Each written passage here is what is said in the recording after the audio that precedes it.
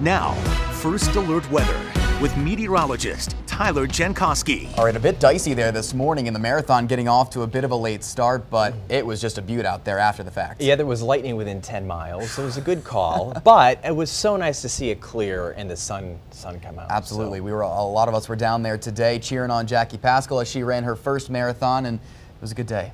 Yeah, look at the time lapse. This is a little after the marathon. Well, if you're an earlier finisher.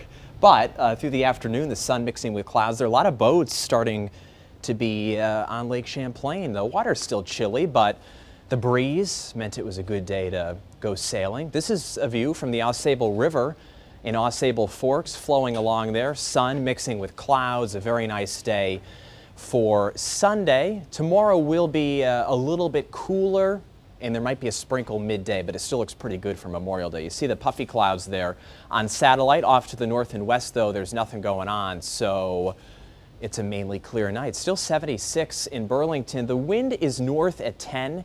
Dew point of 49 means any humidity that we had out there earlier is gone. It's very dry, very comfortable, and that's the way it'll stay this evening. 73 in Massena, still have 80s to the south, 80 in Lebanon, Springfield's at 81 right now and uh, it'll start to drop off here soon though as the sun will be setting.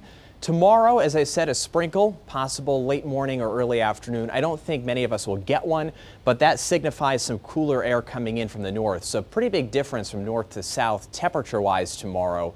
And then on Tuesday, there'll be more in the way of showers for areas south of the Champlain Valley. So for tomorrow, a lot of sun first thing, but look at this band of clouds that com comes in. Very thin, not much rain with it, just a few light showers or sprinkles.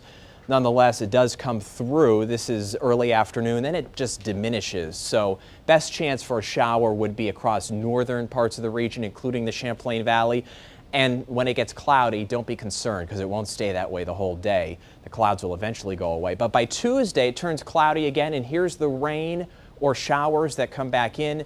But it's definitely for southern areas. I think Champlain Valley, points north will be dry, just cloudy on Tuesday.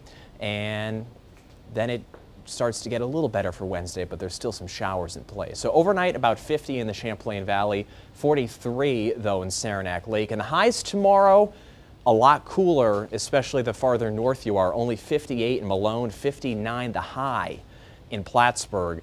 The high today in Burlington was 79. We're only calling for 63 tomorrow. So a lot cooler, especially across the north with a sprinkle possible, but a little milder once you head south, 75 in Brattleboro, for example.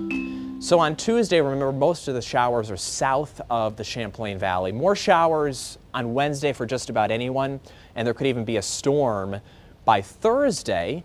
And then to end next week, it looks pretty good on Friday and Saturday with highs in the upper 60s and lower 70s. By a week from now, for next Sunday, there may be a few more showers in play. Tom? Well, thousands.